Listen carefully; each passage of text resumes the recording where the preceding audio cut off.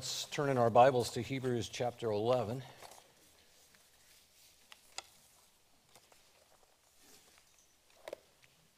And let's go to the Lord in prayer for a time in Bible study. Father, we thank you this morning uh, for the clarity that you bring to our hearts pertaining to even political issues.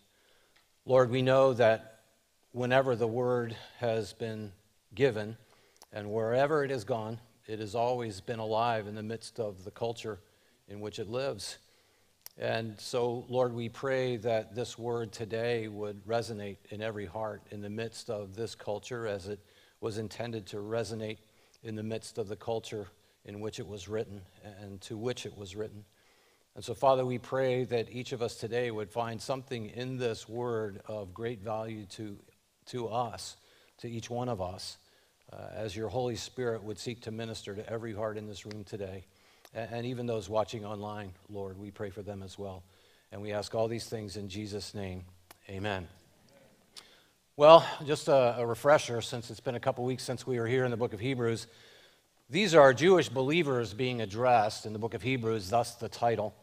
Uh, Jews that have come to a saving faith, a born again faith in the Lord Jesus Christ. And the difficulties these Jewish believers were facing were causing some of them to consider going back, evidently. And, and there have been references to that by the author of the book, possibly even renouncing their born again faith in Christ, which would have been tragic. And the reason that we say that it's tragic is not because of what they may experience in this life, but it is eternally tragic. To renounce your faith in Jesus Christ is eternally tragic. And instead, the author, who I've shared with you, I think it's Paul, instead, the author encourages them to consider their own history which has always, always, always required an enduring faith.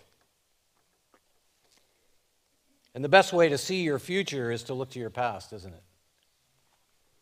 And that's why knowing your history is so very important. And in the histories of the world, the, the cultures of the world, the anthropologies of the world, the governments of the world, as we look back to history as being such an important indicator of where we're headed. We understand that throughout the course of history, and it's been fairly recent history in this regard, Marxists and socialists always deny their history.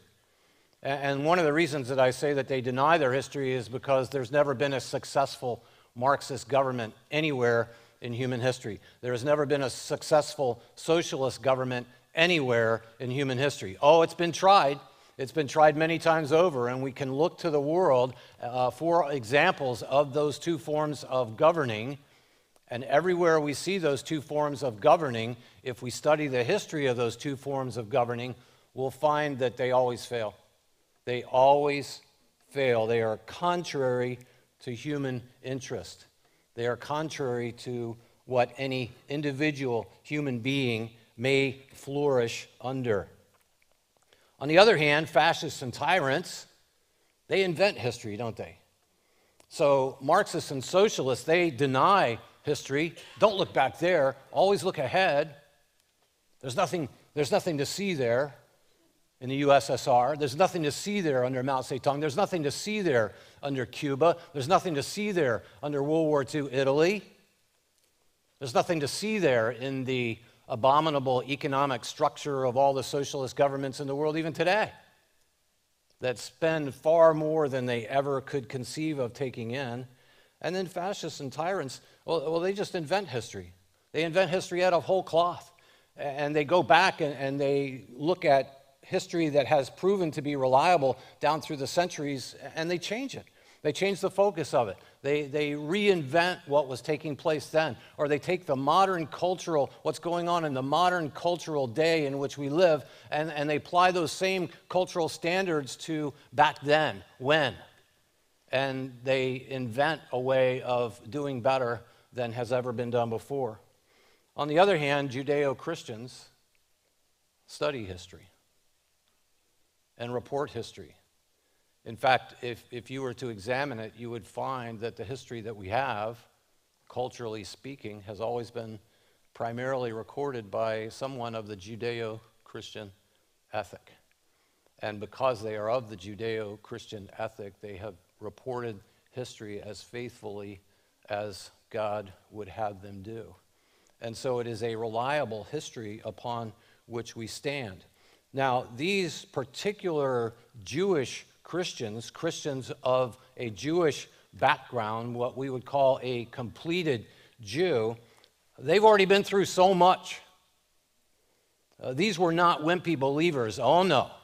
Uh, they've been through far more than we've ever experienced. These were very difficult times. All we need to do is, is remember what we read last week in chapter 10 of the book of Hebrews. If your Bible's like mine, all you have to do is look on the same page over at, at verse 32 where we read, But recall the former days in which, after you were illuminated, you endured a great struggle with sufferings. And we know that, that people of the Jewish faith who came to Christ, they were ostracized, they were put out, they were excommunicated from the temple, they were not allowed to participate in synagogue services.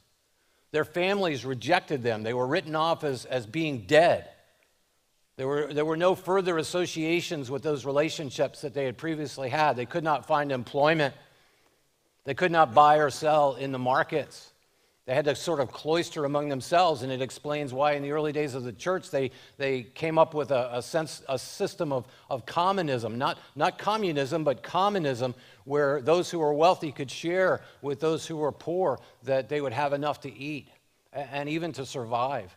And then even Paul, who I believe is the author of, of this letter to the Hebrew believers, he was a part of that persecution of the first day church. And in his own words, he murdered and imprisoned Jews who, who came to Christ simply because they had come to Christ. That was the structure uh, of the society in, in which they lived. This was not an easy time to be a believer. Oh, no.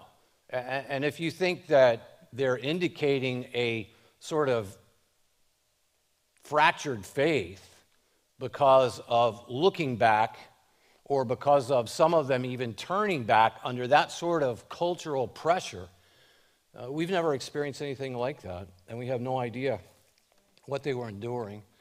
But we can appreciate what, again, I think Paul wrote, but recall the former days in which, after you, illuminate, after you were illuminated, you endured a great struggle with sufferings. You've already been through so much, partly while you were made a spectacle both by reproaches and tribulations, and partly while you became companions of those who were so treated.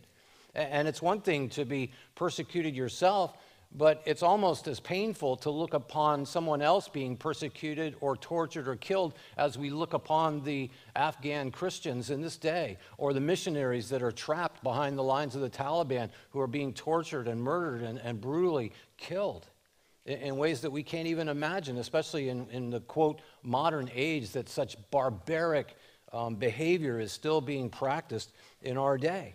And, it breaks our hearts to see that happening.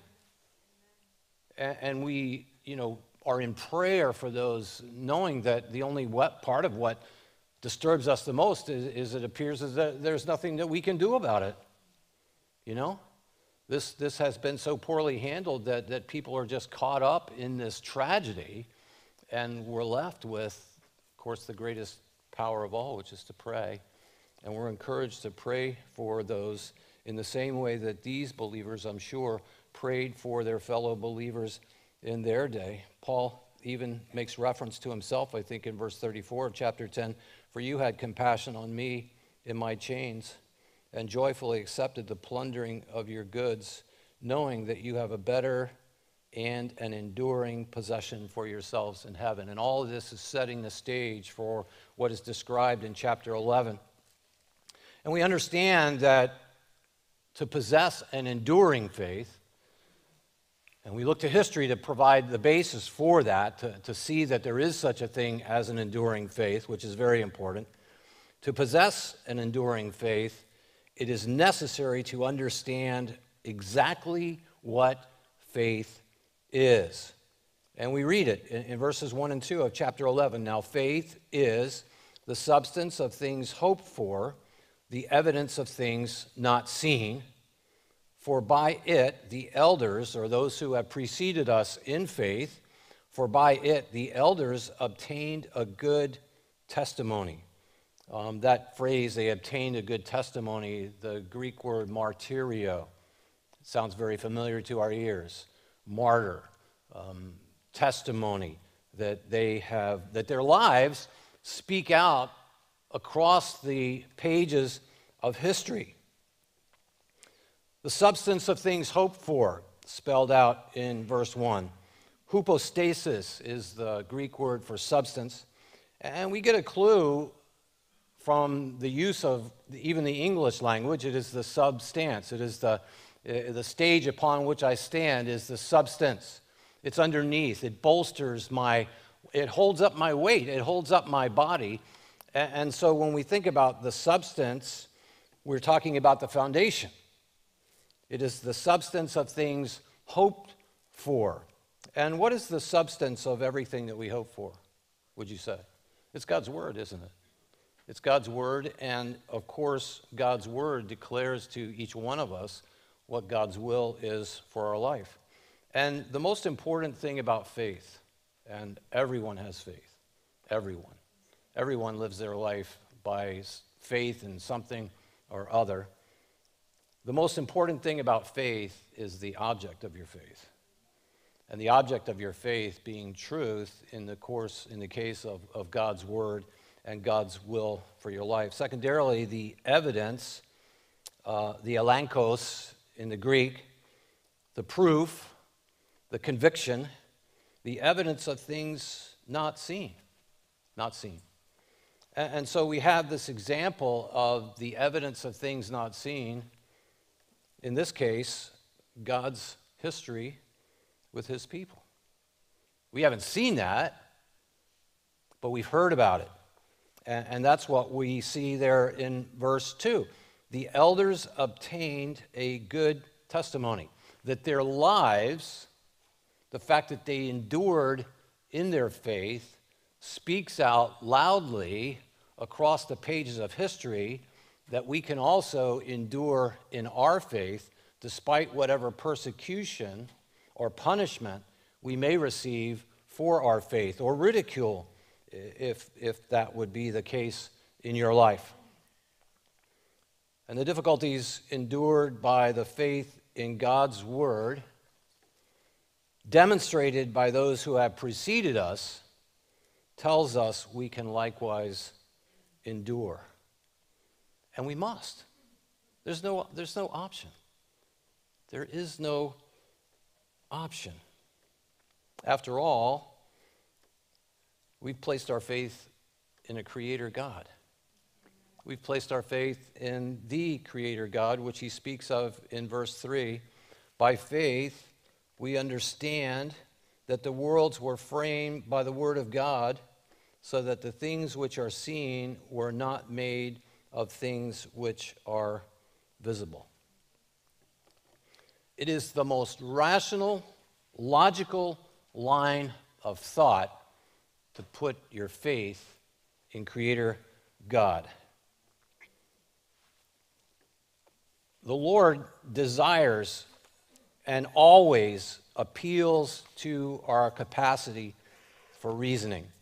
In Isaiah chapter 1, very famously, most of you probably know where I'm going with this. In Isaiah chapter 1, we have this declaration by God because some people think that when they come to Christ or when they're encouraged to place their faith in God, that they are somehow practicing blind faith, and nothing could be further from the truth. That as we have just read, it is the substance of things hoped for, it is the evidence of things not seen. It is not blind, it is a seeing faith, and it is a seeing faith based upon rational thought and observation.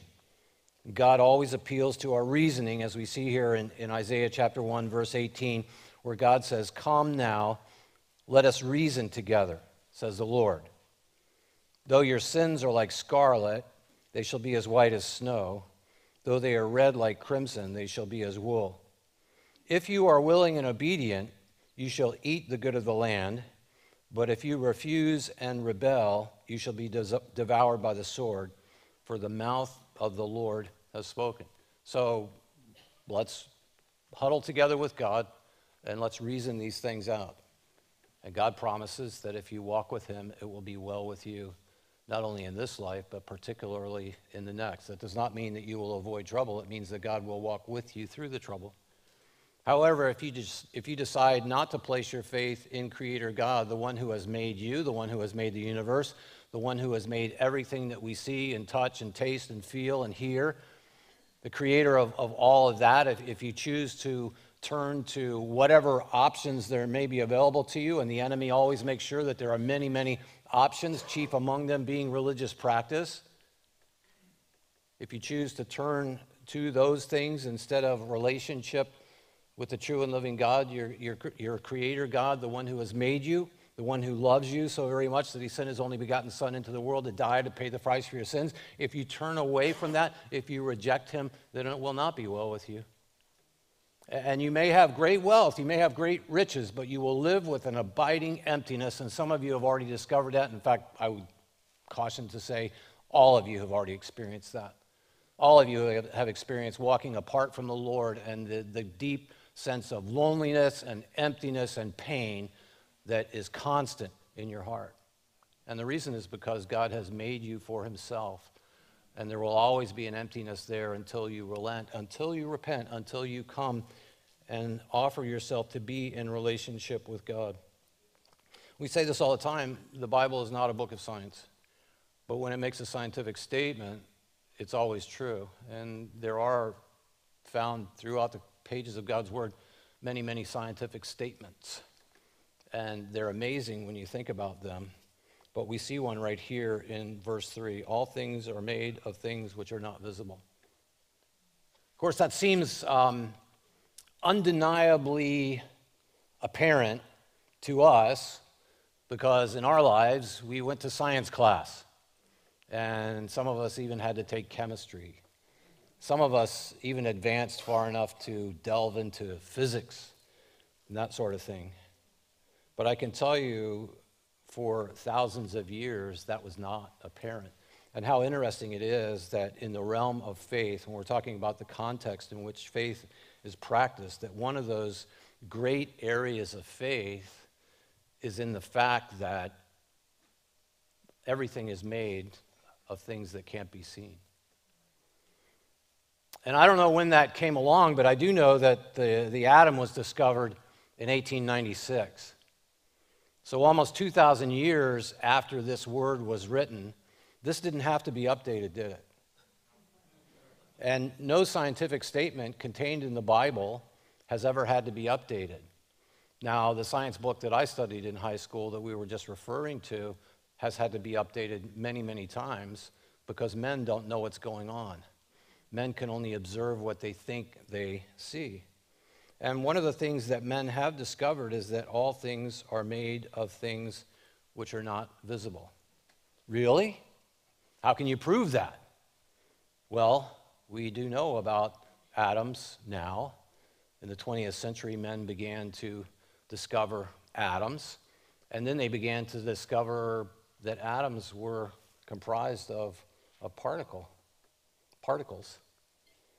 It's interesting when you think about the nature of discovery. In, in 1906, there was a, a gentleman who discovered and won the Nobel Peace Prize for the discovery or for proving that an electron, which is one of the particles of an atom, is a particle. And then in 1937, this man's son also won the Nobel Peace Prize for proving that an electron was a beam. And both are true. An electron is a particle, and an electron is a beam. How could that be? Further evidence has proven to us that when you look at an atom, the supposed building blocks, although now they're discovering there are things smaller than, than atoms, but if we were just to talk about atoms and atomic research, now we are getting into um, the study uh, of the nature of how those things exist and how they are comprised. You know, when you heat oxygen, in a fire, it burns red at a particular temperature, it burns white at an even higher temperature, and then it burns blue at an even higher temperature than that. And the reason is because the electrons are being excited and they emit a different color of light at different heat levels.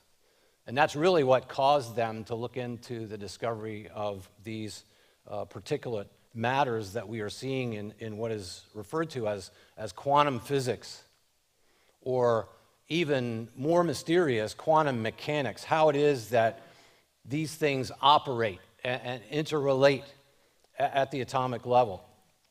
You know, some things, some people are concerned about the idea of, of cremation uh, versus burial. And, one of the things that we know is that you are a soul. You know, I, I'm presently standing before you as, as a soul that has a body.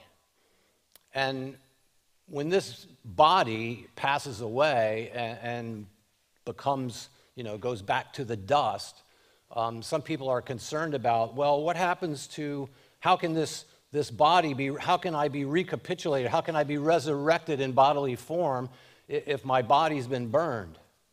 But we understand from the nature of, of atomic particulate study or quantum mechanics that it, it really doesn't, you know, God can indiscriminately grab any old set of atoms and create a body for you. It's your soul that matters. It's, it's like the difference between hardware and software. Software is invisible, but it is, it is the code that is really you, if we were thinking about it in terms of a computer. And given the nature of atoms, God can, can make you, your, God can make a body for you that would be you out of any atoms that exist in any particular time. Because atoms, the, the building blocks are not specific to the nature of who you are, only fashioned by God into who you are. It's, it's amazing that if, if the nucleus of an atom was the size of a basketball, and I was holding it up for you now, the electron in a hydrogen atom the electron in a hydrogen atom would be rotating around that nucleus the distance from here to Los Angeles, California. This is the mind blowing stuff that physicists who got into quantum mechanics found. And it's been stated by many of them, brilliant men nonetheless, that if you're not just amazed and flabbergasted by what you see when it comes to quantum mechanics, then you haven't seen quantum mechanics. Because what, they what they find and what they continue to find is absolutely preposterous pertaining to you know, this being a solid. How could this be a solid with that much space? And they discovered that if you took all the space out of all the atoms that exist on the earth itself, and the earth itself is uh, 8,000 miles in diameter, and, and we can sort of understand the mass of, of everything that, that is the earth and everything that exists upon the earth. And if you took all the space out of all the atoms that comprise everything that pertains to the earth, the earth itself could fit in a basket. That's how much space there is. And what quantum mechanics, what quantum physicists have discovered is that solid is a is a something we don't understand. They've also discovered, and, and get this, that the only time that you can, this is a little bit mind blowing, but the only time that you can actually observe the particulate behavior of the atomic structures when it pertains to quantum mechanics is when you actually look at it. That before you observe it, it's as if it's not there. They have discovered that. And I hope your mind is as blown by my mind. You know, Einstein, in his special theory of relativity, stated that he could not imagine anything going faster than the speed of light. And a lot of his postulations and theories were based on that. what they discovered when they began to develop the means by way of quantum mechanics to sort of manipulate the particulate matter that atoms are comprised of? Well, they discovered that if they deflected an electron away from the nucleus of an atom, I'm going to try to say this slow so that it's understandable. When they deflected one of these electrons that orbit around the, the uh, nucleus of an atom, when they deflected it in one direction, well, it would travel at the speed of light. But they also observed at the same time that it traveled away at the speed of light, that another electron also traveled away at the speed of light. Now, if you remember the word problems in math in elementary school, anybody like word problems? Do you remember the relative speed if you have a car going in one direction at 50 miles an hour and another car going in the other direction at 50 miles an hour? What is the relative speed? And that you add the relative speed together and you get cars that are actually going 100 miles an hour separating from themselves. Anybody remember that problem? That was an easy one, wasn't it? Well, what do you get if you have an, an electron traveling this way at the speed of light and you have an electron traveling this way at the speed of light? Whew. That blew Einstein's mind and he gave up on that point.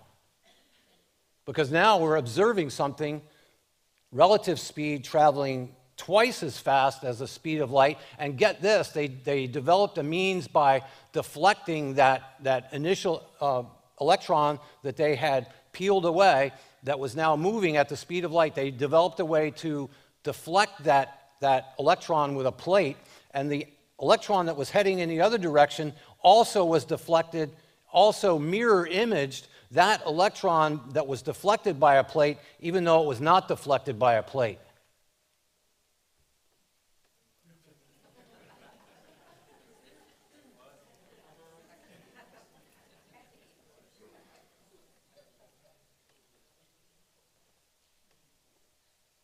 One renowned scientist came to the conclusion that only the Bible makes mention of more than three dimensions. Only the Bible is up to date when it comes to the contemporary findings of what has been observed so far uh, pertaining to quantum mechanics. And it is a, a fascinating, mind blowing study to be involved in, and it is constantly blowing the minds of the physicists that are looking into quantum mechanics. And, and they've since developed some other theories. Some people proposing pertaining to string theory, which I can't begin to, to really understand, but I know of the existence of it, maybe some of you do as well, that there may be as many as 10 dimensions. Then we remember that, that faith, when we say that all things are made of things which are not visible, faith is equal to the substance based upon evidence. And we have all this evidence pertaining to the creation itself. And it is Creator God who has made these things, they have not evolved. And God is transcendent.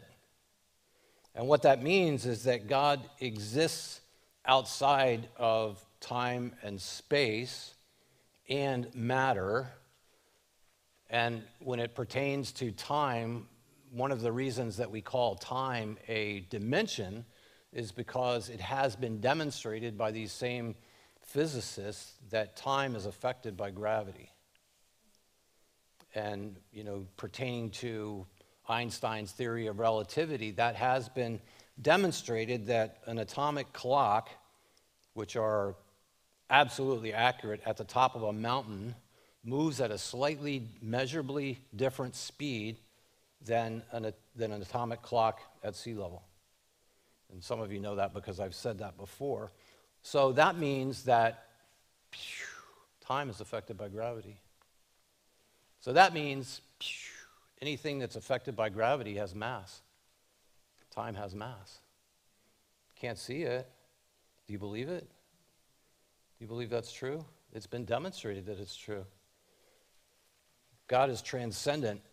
And as this atomic physicist noted about the Bible, Ephesians chapter 3, verses 17 through 19, um, Paul makes reference of this in speaking of at least four dimensions when he says that Christ may dwell in your hearts through faith, that you, being rooted and grounded in love, may be able to comprehend with all the saints what is the width and length and depth and height. Did you catch that? Width and length and depth and height. Paul is already onto something that scientists have had yet to discover. And that's the way the Bible is. When the Bible makes a scientific statement, because it is the Word of God, because it has been written by God Himself in the person of the Holy Spirit, it is always accurate, whether it's history, whether it's anthropo- anthropology, whether it's geology, or whether it's atomic structure, or whether it's the fact that the life is in the blood, as we've previously studied in the book of Hebrews, or whether there are more than three dimensions. And when you know you get to the end of chapter 11 and you begin to peek into chapter 12 and verse 1, therefore we also, since we are surrounded by so great a cloud of witnesses, let us lay aside every weight and the sin which so easily ensnares us, and let us run with endurance the race that is set before us. That with so much space present in the matter that we perceive to be solid, which we know is not solid at all, there's plenty of space for more dimensions.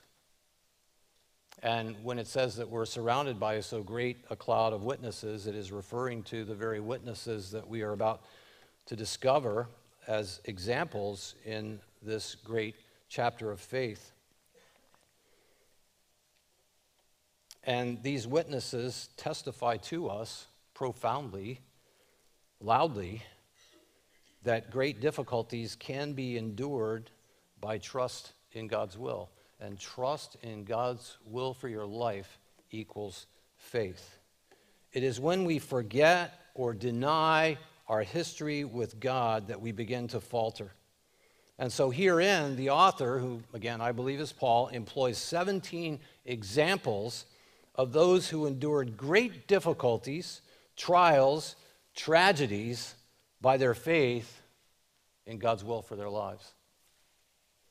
And if you want to know God's will for your life, which seems to be the maybe the preeminent question that believers who have trusted by faith in Jesus Christ have for themselves, you know, what is God's will for my life?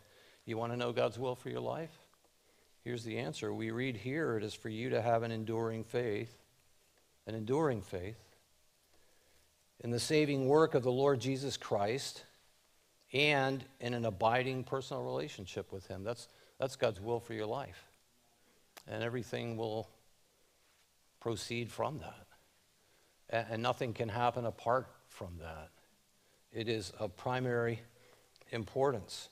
And so we read of Abel and we read of Abel's faith in verse 4 of chapter 11 of Hebrews. By faith, Abel offered to God a more excellent sacrifice than Cain. And, now we're, we're, we're getting some commentary here in, in Hebrews chapter 11 about things that have happened historically among those who were the foundation of the Jewish faith. Obviously, Abel and Cain greatly preceded the existence of the Jewish faith by at least a thousand years. And yet we see their faith being practiced toward God. They had obviously been taught about blood sacrifice being the requirement for coming into or um, making an offering, a sacrificial offering before God. And, and, Abel offered to God a more excellent sacrifice in that regard. You can read about it in Genesis chapter 4, the first 15 verses of Genesis chapter 4. And through that, he obtained a witness, that, that self same witness that is referred to in verse 2 of Hebrews chapter 11. It became his testimony that he offered this excellent sacrifice, that he was righteous. And God testified, God testified to Cain that Abel's sacrifice was more righteous than him. Now, evidently, they had both been taught about blood sacrifice, and Cain was trying a different method but God has a way in which we are to approach Him. And that is very important for us to understand. And we may die for holding on to that or, or placing all of our faith in that method. And that's exactly what happened in Abel's life. His brother Cain put him to death. Cain had his own methodology, if you will, of how it is that he would approach God, how he would choose to approach God, but it was not according to God's command. It was not according to God's desire. And, God reasoned with Cain. He did not treat him harshly. It was Cain who responded with evil. God tried to, to bring Cain along in, in a very gentle way, but Cain killed his brother because he saw his brother as being preferred by God. And God said, You know, your brother's blood cries out to me, your sin cries out to me from the ground. And that's always the way that it is with sin. But this is, this is first and foremost an example of those who are faithful to approaching God according to his design for how it is that we must approach him.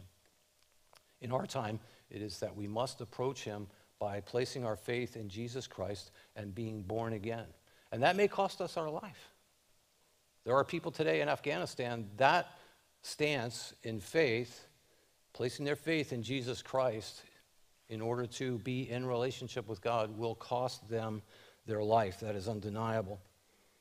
By faith, Enoch was taken away, verse 5, so that he did not see death and was not found because God had taken him, for he was taken, or excuse me, for before he was taken, he had this testimony that he pleased God. Again, referring to the testimony of those who have preceded us in death. Uh, verse 2, talking about the elders obtaining a good testimony here that is spoken of again. It was the testimony of God that, that Enoch walked with God for 300 years. And then after Methuselah was born, God took him. And Enoch becomes a type of those who are in such relationship with God, walking with God, that he becomes a type of the rapture. He becomes a type of being removed from the tribulation that is about to befall the world that we saw take place in Noah's time. Now, look what it says there that he was taken. Before he was taken, he had this testimony that he pleased God. And so I want to set this next verse in context because this next verse is very important to our existence with God. But without faith, it is impossible to please him. And so you have to put that together. Enoch had this testimony that he pleased God. But without faith, it is impossible to please God. Four, and here's the nature of what our faith must be. He's telling us what we are to believe. And he says, For he who comes to God must believe that he is. There's so many people in the world today denying the existence of God, denying the, the creation of God, putting their faith and hope in something that's, that's called evolution or evolutionary science that has proven over and over again to be absolutely preposterous on its face. And even many um, scientists who have placed their faith in evolutionary um, discovery have turned back. They've discovered that it's a dead end. They, they discovered that it cannot be supported by scientific observation. But for those who believe that God is, and so we believe that God is, that He exists, and we also believe that there is an eternal reward for those who believe that He is. For those who believe that He is to such an extent that they've placed their faith in Jesus Christ for salvation. That's what that's saying. And when you've placed your faith in Jesus Christ for salvation, then you are rewarded with eternal life in the kingdom of heaven that you do not deserve, that Christ has paid the price for. And that's your reward. And this is how we are pleasing to God. But it's also how those who refuse to place their faith in Jesus Christ, in the case of, of Jewish believers who would consider turning back to the practices and the rituals of, of Jew, Judaism, that they, they turn away from Christ. And as we read in chapter 10, the, the apostasy that, that could arise in their lives where they actually trample, trample on the body of Jesus Christ and they consider his sacrifice to be nothing more than, than just any man being killed. That's a very dangerous place to be. And, the, the, there is that incredible warning in chapter 10, and you can go back and hear that warning if you weren't here the last time that we were together. God is a rewarder of those who diligently seek him. Now, what would cause me to diligently seek the Lord? Well, I look out on your faces, and it, it's very pleasing to me that you're diligently seeking the Lord by being here today, but it's also pleasing to God, and God sees that you're diligently seeking the Lord here today. You, you've searched till, till you found a place that teaches God's word, and God is, is desiring that you would know his word, and, and he loves those who are diligent enough to, to faithfully seek him out where he may be found. And that can take place in a one on one basis, but he encourages us, as we read the last time we were together, that, that we assemble ourselves together, that we, that we fit and function, that part of our faith is, is fitting and functioning together, thinking about the, what that mean, what that word assembling means. It, it doesn't mean simply to gather, it means to fit together. Giving the example of the thousand piece puzzle. You can have a, a heap of puzzle pieces, and that's a gathering. But when you begin to assemble that puzzle and put it together, then you get a picture. And then you understand what this puzzle is all about. So if your Christian walk is just to be part of a heap of, of people that come together without any particular form or function, then you haven't arrived yet and it's time to, to step forward and it's time to find out where you fit in and function, whether it's in this church or whether it's in another church that God might call you to. And that's very important to understand. Without faith, it is impossible to please God. By faith, Noah, being divinely warned of things not yet seen, that being rainfall, it had never rained, that the earth had been watered by a, a water canopy, very heavy dew, which we understand that in South Florida, don't we? Um, probably to an even greater degree. By faith, Noah, being divinely warned of things not yet seen, moved with godly fear, prepared an ark for the saving of his household, by which he condemned the world and became heir of the righteousness which is according to him. And Noah, obviously, if, if Enoch is a type of those who are raptured out of, uh, raptured prior to the tribulation, just prior to it, in Enoch's case, then Noah becomes a type of those Jews who are preserved through the tribulation by faith. And you can read that story in Genesis chapter 6 through Genesis chapters 8 and 9, and, and you'll see an amazing story, an amazing study of, of, of, building this ark, constructing this ark that was 450 feet long. And some of you have been to the, the ark experience there in uh, northern Kentucky and, and have an idea about the, the scale and the scope of that ark. And he brought his family with him. And they preserved the lineage of the, uh, the animals and, and the, the biology that, that we are aware of and, and the botany that we are aware of, and, and then humankind um, coming forth through them. By faith, Abraham obeyed when he was called to go out to the place which he would receive as an inheritance, and he went out, not knowing where he was going. You ever been called to just go somewhere by God? Abraham is the, the first example of that.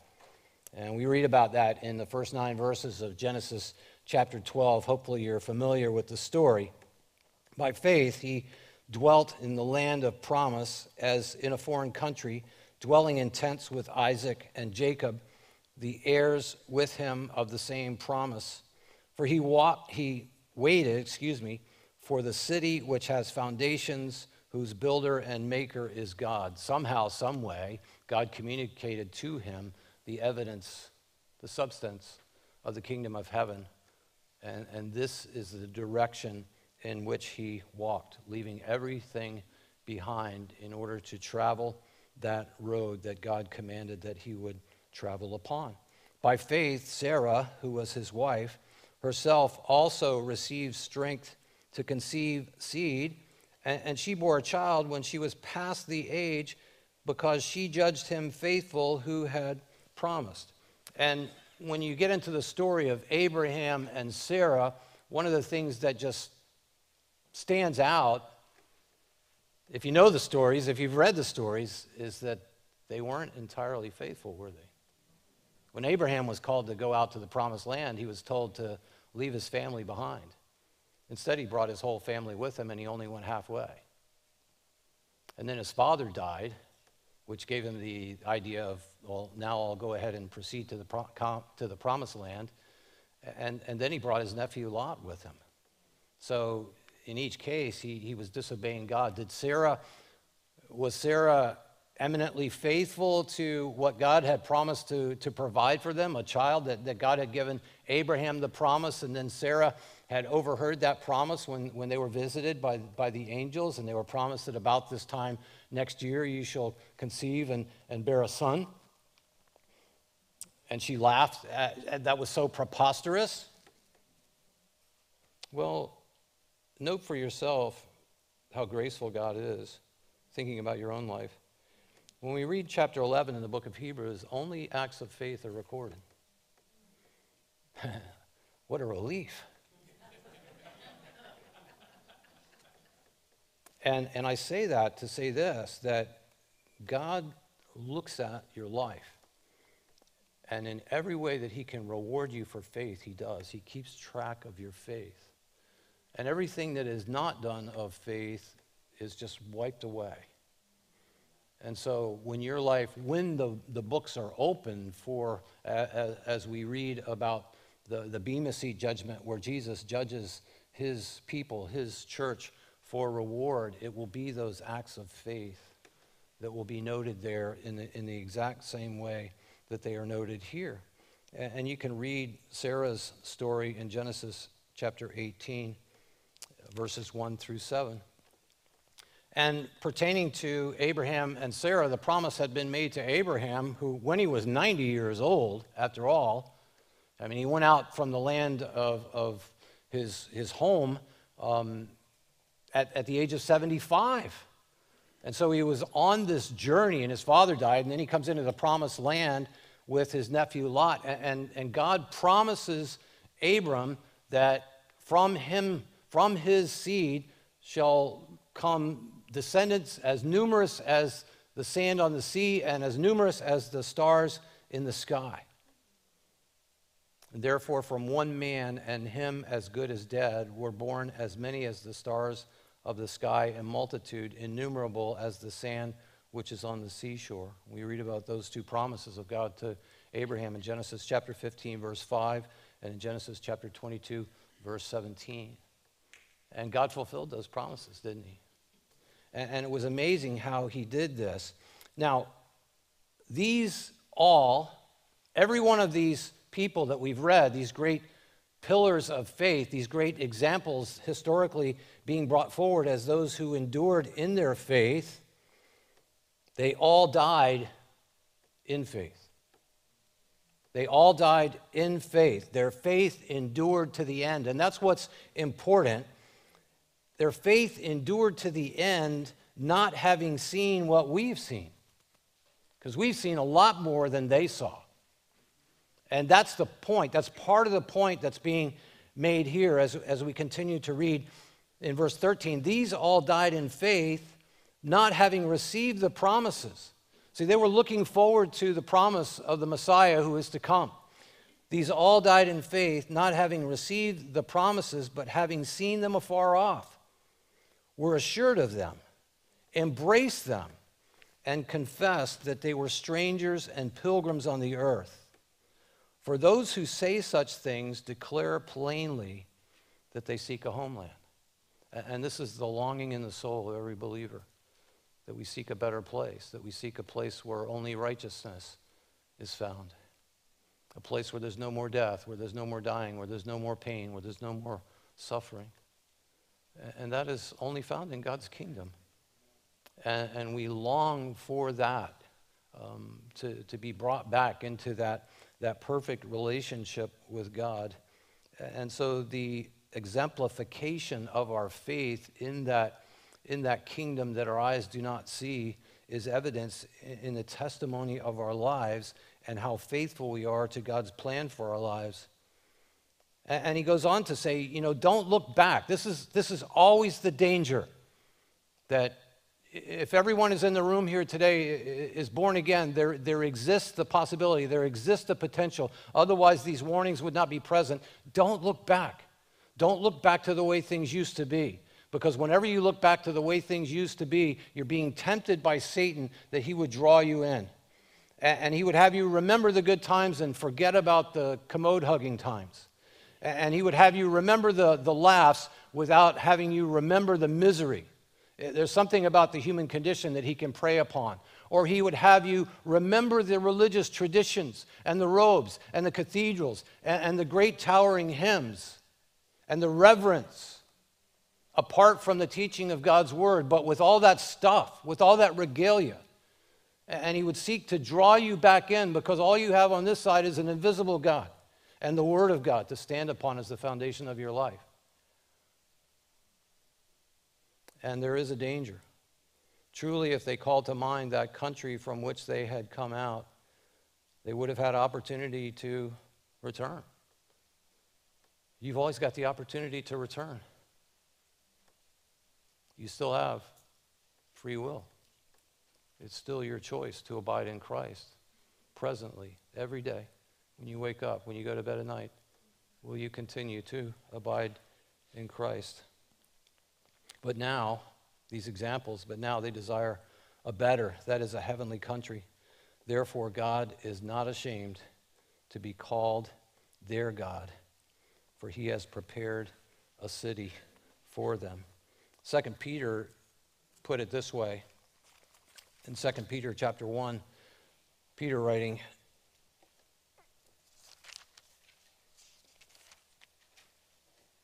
For we did not follow cunningly devised fables when we made known to you the power and coming of our Lord Jesus Christ, but were eyewitnesses of his majesty.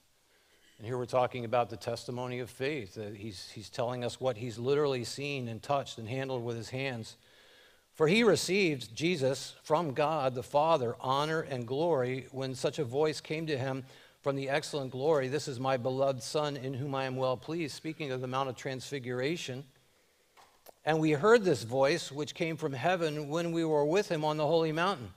And so we have, we have, we have the prophetic word confirmed, which you do well to heed as a light that shines in a dark place until the day dawns and the morning star rises in your hearts. Knowing this first, that no prophecy of Scripture is of any private interpretation, one of the things that Amir was alluding to last Sunday when he was here. For prophecy never came by the will of man, but holy men of God spoke as they were moved by the Holy Spirit. And of course, Jesus, in referring to this promise, said this in John's Gospel, chapter 14, one of the most heartwarming statements ever known to mankind Let not your heart be troubled. You believe in God, believe also in me. It's a choice that we make. And also, the emphasis there is in continuing to believe. In continuing to believe. In my Father's house are many mansions. If it were not so, I, I would have told you. I go to prepare a place for you. And if I go and prepare a place for you, I will come again and receive you to myself, that where I am, there you may be also. And where I go, you know, and the way you know. Of course, Thomas said to him, Lord, we do not know where you're going, and how can, you, how can we know the way? And Jesus said to him, I am the way, I am the truth, and I am the life, and no one comes to the Father except through me. People do not come to the Father through religion, religious practice. People do not come to the Father through their own expression of their own righteousness or whatever it may be. You may have a great following. You may have everything that the world perceives as being, you know, righteous or whatever it is, but no one comes to the Father apart from the Lord Jesus Christ.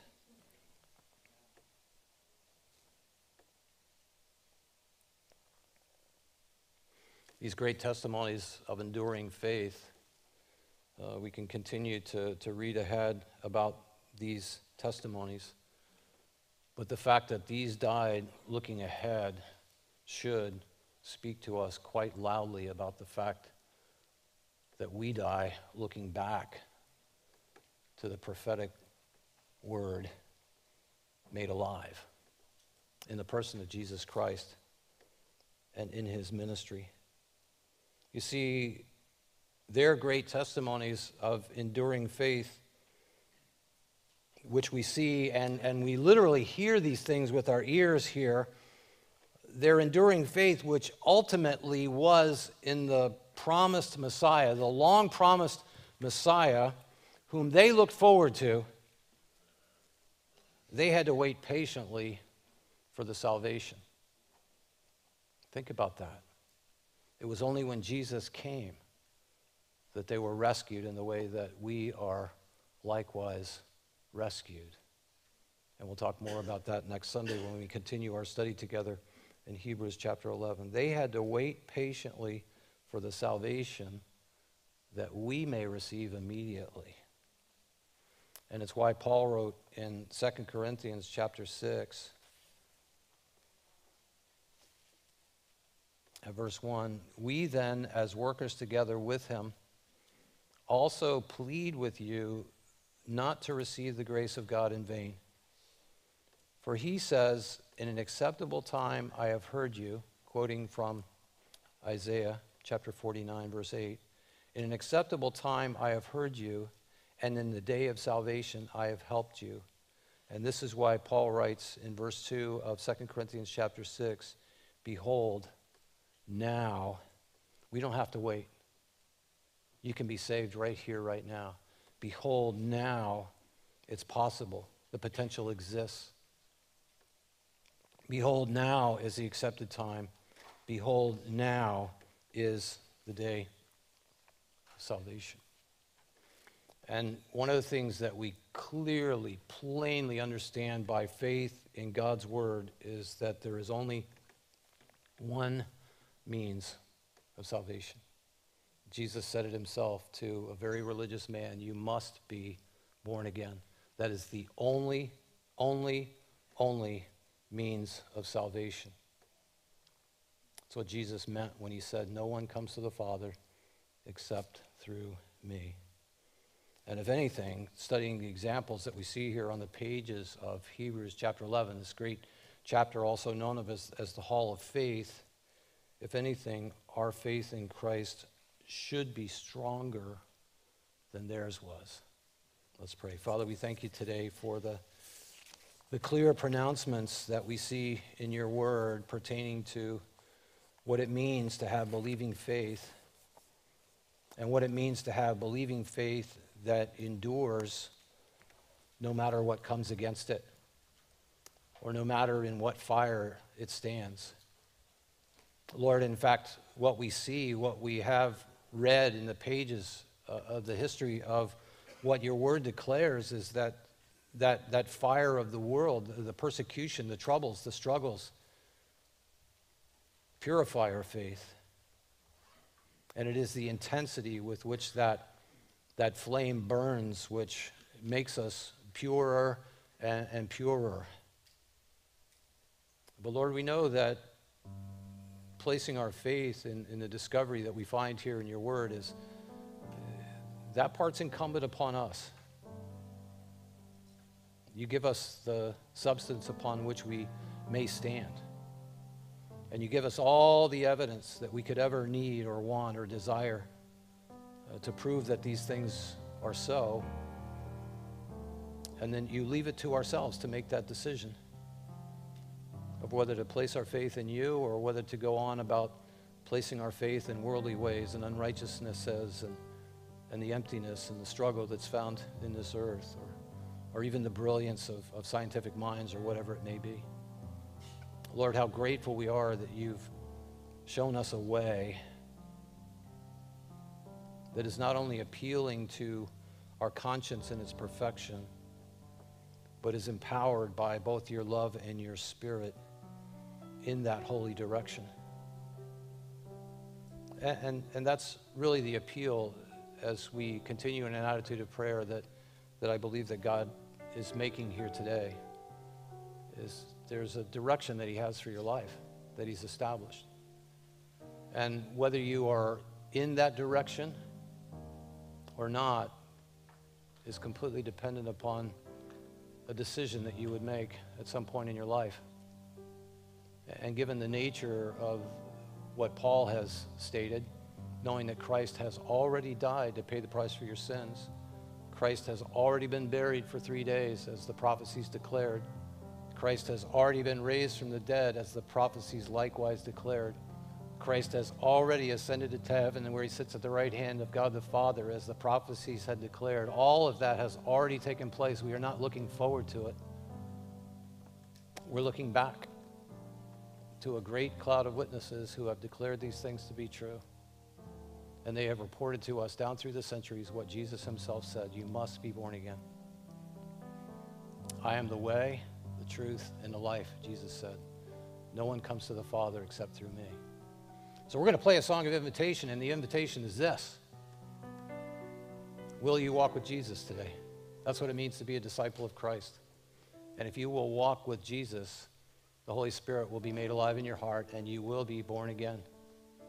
And you will return to that Edenic construction of which mankind was originally built. You had God the Father, God the Son, God the Holy Spirit, a three in one God. Man was initially created as spirit, soul, and body, a three in one construct. Made in the image of God in that way. Then the spirit died when man fell. But you can return to that spirit filled relationship with God by placing your faith in exactly that. And as we play the song of invitation, as the Holy Spirit would minister to you today about that very needful thing in your life, I would encourage you to rise from your seat and come to the front, and we will pray with you what we call affectionately the, the prayer of salvation. Now, it won't be the prayer that saves you, it will be the desire of your heart that saves you, and God sees the desire of your heart. And then we'll pray for you as the body of Christ that you would be strengthened and enabled in your, in your first day's walk with Christ as the Lord of your life.